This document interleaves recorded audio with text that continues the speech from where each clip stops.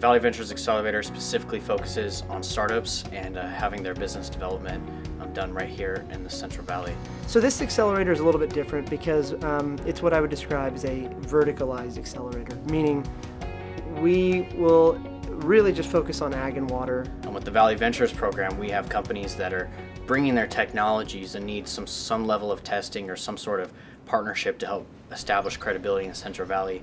And Fresno State has been that first step of having their technology implemented on their operations here. If you have any issues at any time, just hit this icon here.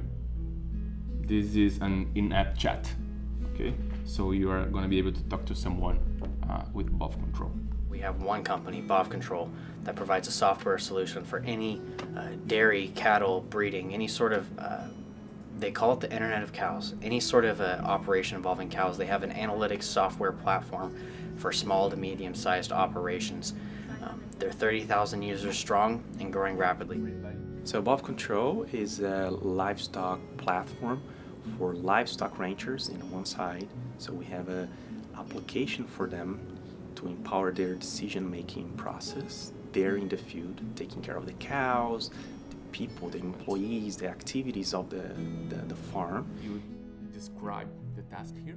So we are using this environment and this experience to make it way better. The next phase will be coming over probably once a week and to improve every single and specific detail and we want to do it for dairy, as we are doing here, and for beef meat, right?